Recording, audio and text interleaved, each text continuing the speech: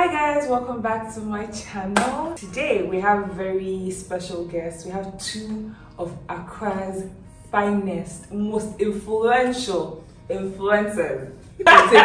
okay, so we have Debbie to my left and we have Afua to my right. Hi. We're going to be having like a very honest conversation about content creating in Lagos and in Accra as well. We have our producer behind the scenes who is going to just direct the whole thing and ask us questions and we're going to answer as truthfully as we can. So I hope you guys enjoy it and if you are watching to this point, do not forget to do the needful, subscribe, comment, like, just engage with this video. It will mean a lot to me and us. Yeah, so we'll just get right into it.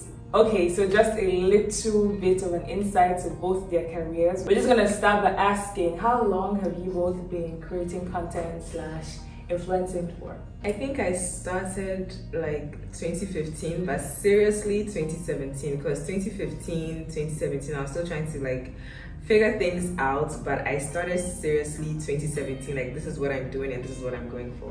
For me, I started seriously as well in 2015, the summer of 2015. So that's six years and that's four years. Yeah.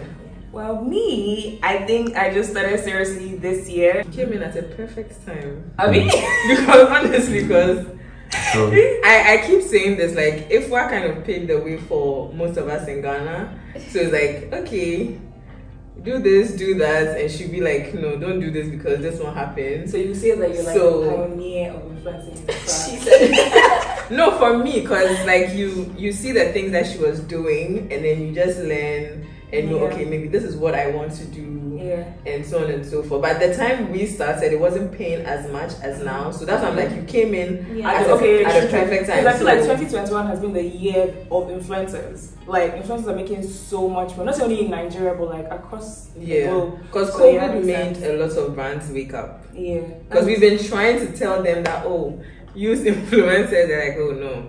But then when we were all like logged, like logged in the Uh-huh. house, Mhm. that's when you got to see who's good and who's not. So there was a lot of it was like a filtering process for us to see the noisemakers and then the one that actually have substance.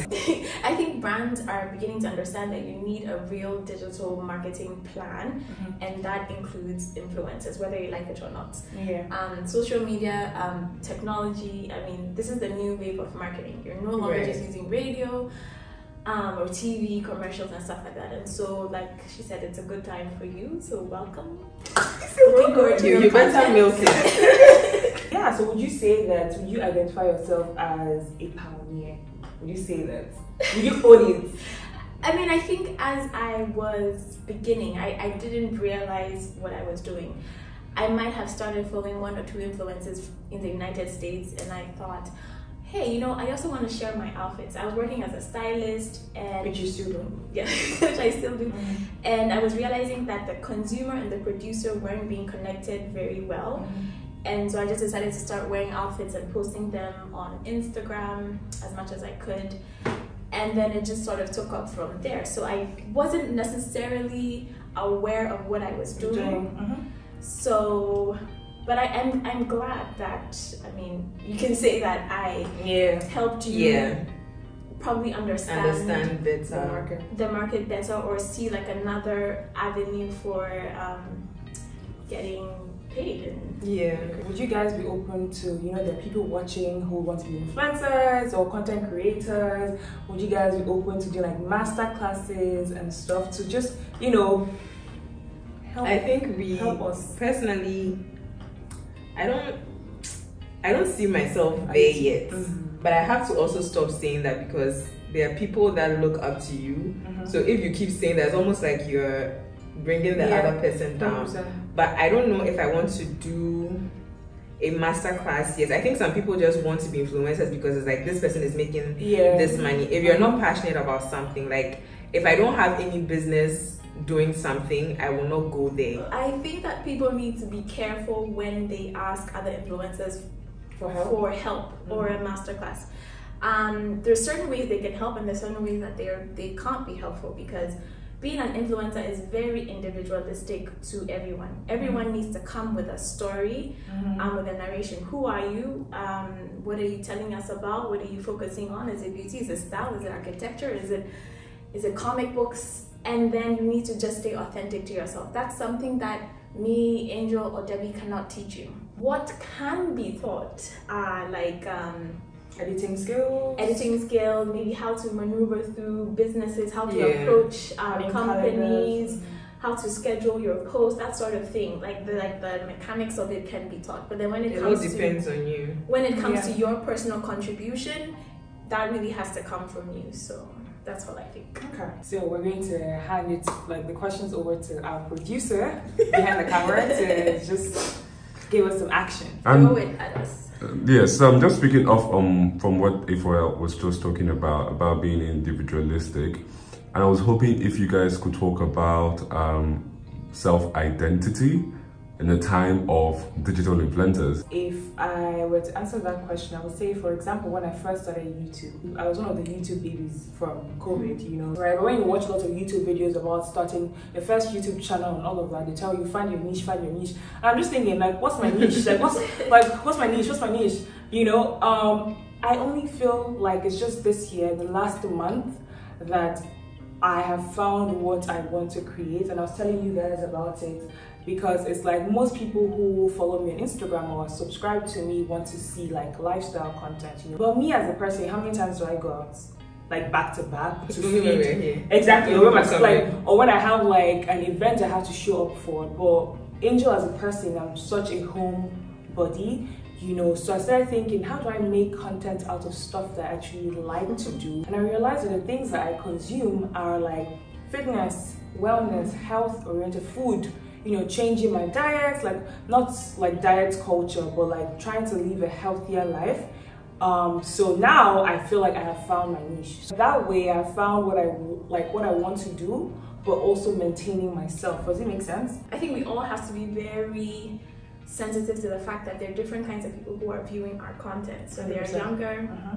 they're younger kids, um, or even women our age, and who are looking at us and probably seeing us as quite perfect, but they don't mm-hmm. realize that there's a lot of makeup, there's editing, there's a cameraman, there's like three different lights pointing at us, and that's all contributing to the finished product. And so I, you know, I, try, I try to balance it out. You know, there are times where you get high editorial, and there are times where it'll be like an iPhone and not a lot of makeup on, because just to just to let everyone know that it's okay to be real. It's okay to have blemishes from acne. It's okay to not have the longest weave or like the longest hair. It's just okay to be whoever you are. I don't know if anyone, any of you have experienced it, but like body shaming and stuff from the audience. Um, not really. No, for well, for me, I'm I'm a no nonsense type of influencer. So sometimes people ask, like, do people send you? I said nobody dare send me that because one thing that I've noticed with people is I've been bullied a lot. So it took a while for me to like get my confidence back. But when I got it, hmm, you can't play you can't play with me. So I think people don't people are afraid to send certain things my way because apparently I don't smile a lot. So when people actually sweet. when people get to hang out with me, every time like, oh my god, you're so fun. I didn't think you were like that because I will not give you the chance Mhm. to misbehave because Mhm. people take advantage of like it's almost as if people act like influencers are nothing. Yeah, 100%. Like we are for you. You can Yeah. do whatever you want to do. But I always say it's how you project yourself to people that will make them respect you or bring certain things your way. So I'm the no nonsense person. Yes, I'll teach you. Yes, I'll have fun with you. But if you cross the line, I'll check you. Yeah. So as long as you draw that line, and I'm very happy that my followers know that because I never Yeah. get any negative um, Yeah. messages like that. Because I I used to have like really bad acne. You they can't message me and say it. Yeah. You probably say it behind my back because if you come at me, I have a sharp mouth. You better make sure everything on your body is right because I will Ooh. come at you. I don't think I've experienced that to be honest. If have you dealt with any people sending you? Yeah, such quite. I mean, quite a bit. There was a point. I think when I hit twenty nine to thirty, I suddenly put on a lot of weight, Mhm. and there was one image. I don't even know how I passed that image to post. But there was one image, and now when I go back and look at it, I was, I'm like, oh my goodness. There's one image where I there, there's quite a there's, there's a quite a rounding to my tummy, and so kind of rounding. Your stomach Yes, was big. Do you so and I guess I hadn't I didn't realize that was what was happening to my body, so I guess I didn't even check myself. But then I had a lot of messages. Oh my god, you're pregnant! And like a lot. Oh Of, yeah, a lot of people were commenting underneath, no! and to be Congrats. to be honest, be honest, and what's still quite funny is that there were more men than women passing those comments. Hmm. And second of all, the women who were passing those comments, first of all, we know about bloating, so Yeah. come on. The- some of the women that we see, like, e, this person, Yeah. they are fighting with like 10,000 insecurities. 100%. And they try to project it on influencers. For instance, like people that are doing their bodies now, there are so many women that I know that always act like, hey, these slay queens, blah, blah, blah, blah, blah. But now all of them have bodies and they want to act like they're in the gym.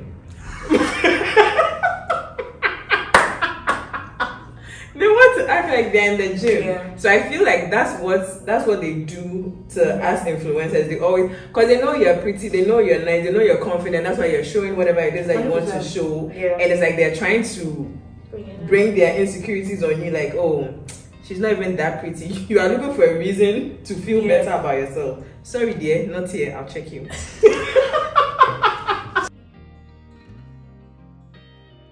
I'm still getting used to it because apparently I have the weirdest look when somebody says, "Oh my god, I follow you." I'm just like, okay. It's just I think because I still see myself like, mm-hmm. oh, I'm a girl's girl. So when they start doing all that, I'm like, oh, it's not that deep.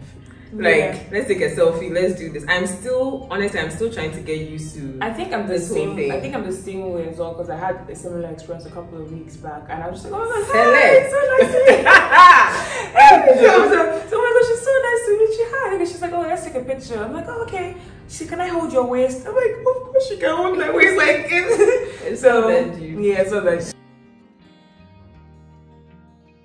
I think, well, personally, I think people don't realize what I do is work. Like, I'm styling you, yes, I'm talking about clothes and makeup and beauty and all that stuff, but it's work.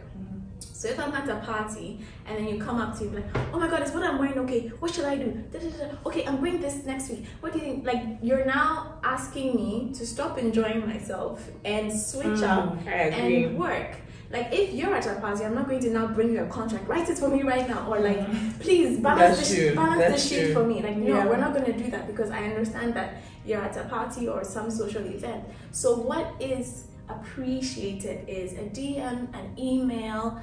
Um, or if you see me, oh please, can I have your card or can I have your number? I would like to reach out to you maybe later on to ask your advice on this or to hire you or something like that. That always works. If we are at an event where we're networking, we're like at a panel event, like that's somewhere, you know, we can still talk about work and touch base and that kind of thing. So just be sensitive to the environment. the environment. Yeah. I agree with her because I've Yeah, also been in situations where people are like, "Oh, this top I'm wearing, so what can we do about it?" Hmm. Like, "Oh, can you DIY something?" Sometimes I don't want to the top the ball first of all. Angel will be best since she- Nigeria, you will struggle with power. So I mean, to pick off of that, Debbie, now to pick off of that, when and when any brand approaches you, the first thing that you have to think about is does does the product or does the service speak to my lifestyle? Um, am I going to use it? Um, so for for the generator one, I would say that right now in my estate, I don't have need for generator, but I know um, that it will be beneficial for my audience. So it's something that I'm definitely willing to take on. I wouldn't. I know what people come on my page for. Mm. If I post something that they don't care about, nobody will mind me. Like we come to you because we want this. Generator the fire hoping. English. Translate it. like what has generator got to do with Well, us? We don't come on I, your page. I guess that, for that. makes I, I 'Cause- guess that makes sense. So because now I'm thinking, how would I be able to market it if I'm not? If you're doing fitness, what would you say? I'm running. So, but if it comes to oh, okay, you guys can get a special discount if you you know, do this or whatever. blah, blah, I'll blah. I do, don't. I'll do you one better. So you, Mhm. you have Instagram and then you have YouTube. Mhm. You have Facebook. Mhm. Okay, so for example, in your stories or in your YouTube videos where you're talking about your lifestyle, you're on the move, blah blah blah. That's where the generator could probably fit in, Mm. but not as a Like, post mm, on, on your your Instagram, Instagram, page. That would yeah. look awkward. Oh, you Yeah, probably have to tell a story because I Because do that with some of my brands. Yes, like some of the things that are not. Let's say if something is not really my style, but I'm trying to fuse it in, I'll just start talking about it in my stories. Mhm. Like, oh, we're doing this for like two weeks, and if the brand understand, like, I need to start acting like. So let's say January, so I'll probably be like, oh, I'm trying to film. I just got light off. Or whatever it is. So I have to do that for like three, four weeks for my followers to know that Debbie has been struggling with lights because she's trying to film and then I'll be like, oh guys, guess what? As I was struggling, Mm. some generator company just saw and they're like, e, they're going to give us this, so this and this. It- That is And more intentional natural. Intentional. You have to be intentional.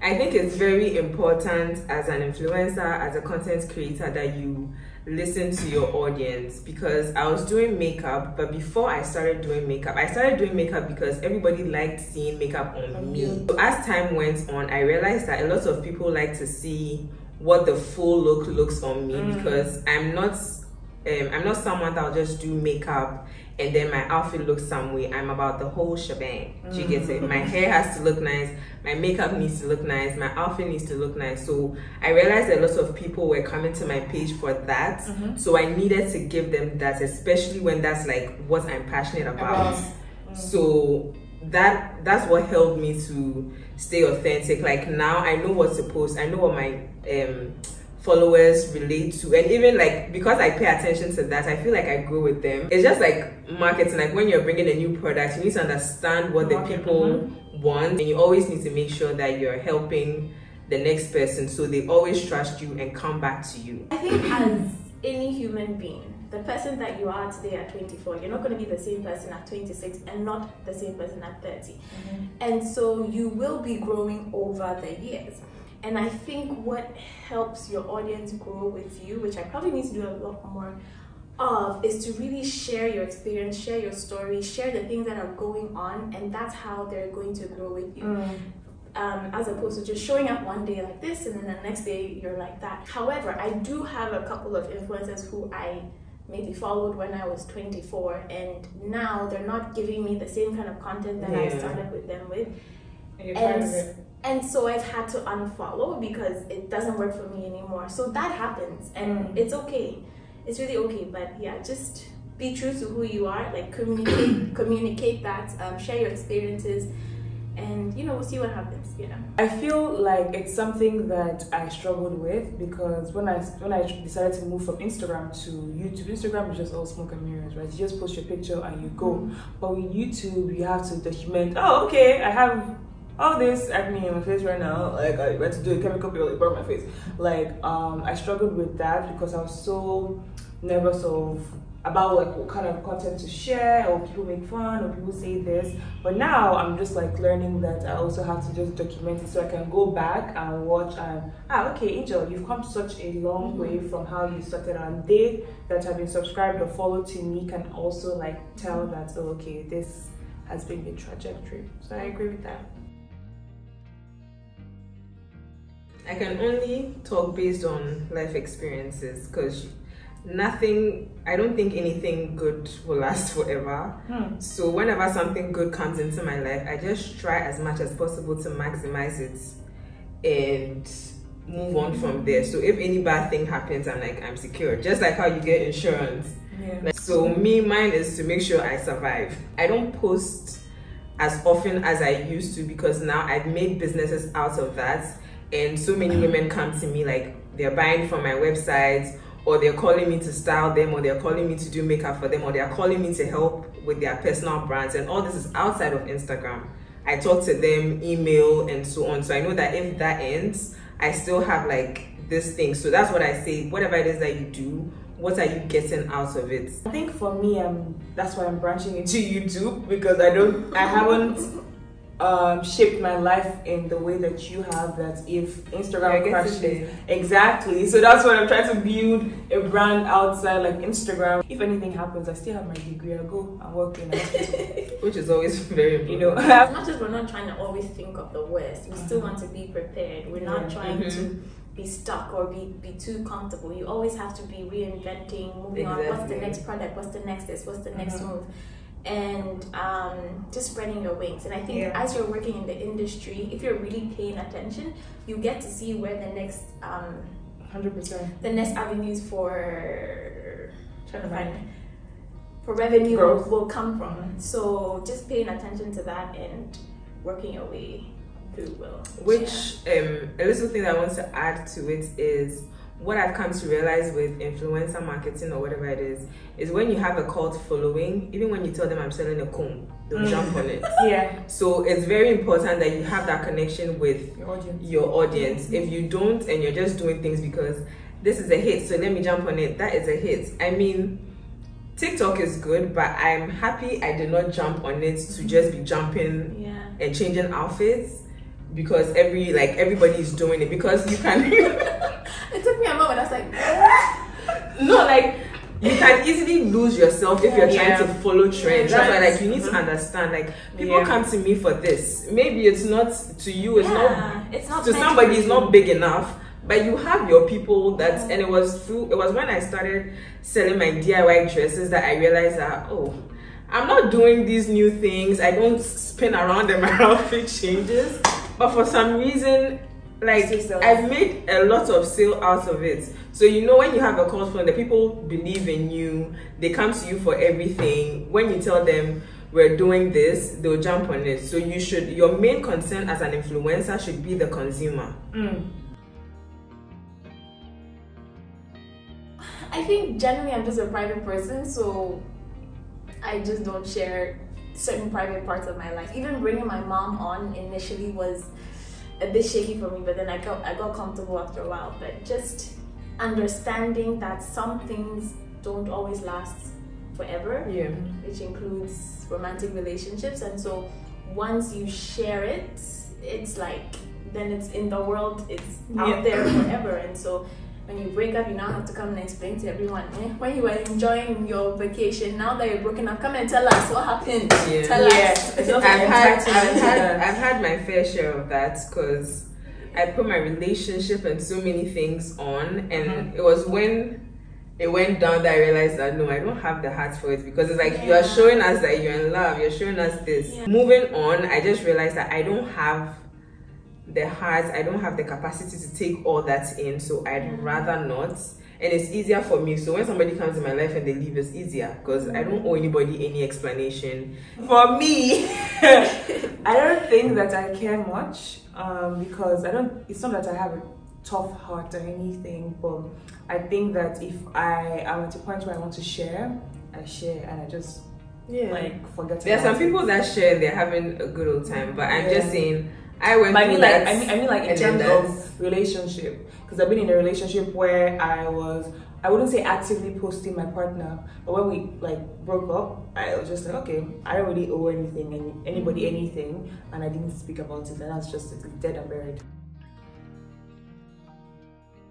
if if I have a boyfriend who can do all that is a plus, but at the same time, when I'm with my partner, I want to enjoy the moments. I don't expect him to do it, but, But I if do, it's something he I do to need do. him to sort of Understand. understand that this is my life, and so once or twice it will, you know, Happen. Yeah. it will happen. Like if we Yeah. happen to go somewhere for the first time, and I'm like, oh my god, the light is perfect. I beg you, just Yeah, and then you should be able to know. No, your I mean I try I try not to do that because You should be able to know your if. Actually, I'm, no, I'm the type that that, if you no. spoil my picture, I'll be very angry. It will ruin my night, so I will not put you in that situation. But what So if you're both time. like on a work trip and you require him to take pictures of you? Well, That's why I have my tripod. well, then there's a That's why you conversation- learn. There's a conversation that needs to happen before the trip. No, I feel like even as an influencer, you need to learn how to do certain things yourself. on your own, Yeah. yeah. Do you get it? So you don't burden somebody else. If it's before I go on a trip and I know it's work, I would have planned like, okay, let me see if I can reach out to a photographer And, in that side. If not, am I going to use my tripod? If not, I I, find a different angle. I agree, but look at it this way. For example, like let's say your husband writes is a public speaker and has to write Mhm. speeches. Aren't you reading his speeches for him? Aren't you double checking his spelling? Aren't you, I mean I'm just like okay, okay, what, what what else can I do? Like let's say there are certain times where we will also have to help, our Help, significant yeah. others with whatever Mhm. job that they're that they're working on. If he's writing an essay and you guys are home Yeah. on a Saturday, you are reading this document for him. Yeah, so that's why I'm saying at the end of the free day. I feel like it also depends on the kind of person you are. Mm-hmm. I know I'll flip. Fair enough. So I try not to put the person in that, that position Yeah. because then when you also do that, it's like. "Hmm, I don't really like the picture. You think you're just saying you don't like the picture, but you're also hurting him. I don't like putting people in positions where I want them to help me and they can't help me, and then they feel like, oh God, this is I need to help my girl, I need to help her, and, And I can't. can't. So I will not put you in that position. So I will plan ahead. If it's not something that I can do, I'll take a different angle. Yeah. Then I'm like, okay, it's going to be like a selfie Selfie, trip yeah. that I'll put together, edit, put text in, and let it look nice, and I'll post at the end of the day because I'm a content creator. So you just have to think ahead. Okay, well that makes sense, and that leads me to my like I don't know if this is the last question, but that leads me to this question, right? What tips would you give to like you know content creators or upcoming content creators right now? One thing that I'll say is just being authentic, like know what you want, and even if it's small, because some people can have 100k followers, but they don't impact as much as someone with 2,000 followers. Hundred percent. That's what you need to understand. As a content creator, you should always see what your Value is. what your value is or what your followers like or what they come to you for. If you don't have that and you're and people can tell when you're fake. Yeah. Yeah. So if you like hair and yours is supposed to be just hair, just stick to it and find ways that you can improve on the hairstyles. If it's fitness, different ways that you can improve. There's nothing wrong with showing that hey today my stomach is big oh, or tomorrow you were able to just be yourself. just be yourself. Like just pick one and then kill yourself in it. Um, uh, I mean, let's be honest. Anyone can be an influencer. We all have Instagram pages. Mhm. I mean, I could anyone can share their outfits or what they're eating today and stuff like that. But to really take it seriously, make sure you have a story. What are you coming as? If you're going to talk about interior decoration, what is that angle? What are you going to be sharing? Are you sharing um, the work that you do, or are you shopping with us? Like, just be very um, accurate, dead on with your story, and then just flow with it, and then the rest will happen. And pray a lot. Um, Very well. yeah. Also, if you are coming into this for the money, sorry. no, not not that you will not get work and you will not get paid. What I'm saying is that if you're coming in this solely because you want to make money, I think that's the worst. That's the worst Agenda. um, agenda that you can have because it won't be coming from your heart. It won't be authentic. You are going to end up you'll just be frustrated doing any and everything. There there are so many times where work is down. Um the brands are, you know, being Some way. some way and so it really has to come from your heart. You really want to interact and share your life with an audience. So just be you, be real and the money will come to you. I think because we we're in Africa and we see a lot of black women, when you ask me that question, it's hard for me to answer because black black is all I've seen my whole life. I was just going to say that black is beautiful. I know it sounds very cliche, but black women are actually very, very, very beautiful. I love the color of my skin. I mean, it's complicated for me, and I, I, I have, I, I agree a little bit with you. Like I, I've always, like, there's been nothing to compare it to. Like we're all black. Um, but personally, for me, being mixed race, it's, it's, people have never like, they Put you in don't, they, they don't think I'm Ghanaian, and the Lebanese don't think I'm Lebanese. So it's, I've always been in this weird, awkward middle space all my life, and it's as an adult where I'm coming to a space where it's like, yes, I might be awkward, I might be different, but I love it. Like, I love it. And if you can't place me, well, that's where I am, un- unplaceable. no, but um, I think we're really special. We're really magical. We have a lot going for us, and the world, well, maybe other parts of the world has spent a great deal of time trying to make us Us on this than. continent feel less than. Um, and I just hope that all women can come to that point where we're like, you know what? We're the shit. Yeah. Okay, guys, so it's been such a beautiful, enlightening video. Oh my gosh. Ah, the wisdom. anyway, uh, this is the end of the video. I hope you guys enjoyed it. I hope you, I don't know, just learned a thing or two from Afua and Debbie, and I'm going to miss them so much. I know. I miss you miss them so much. We enjoyed making this video, and if you did, if you enjoyed watching it, please do not forget to subscribe, like, comment, share, and just engage with this video. Share it with anyone who you think would benefit from it, and I'll see you in my next video. Bye. Bye.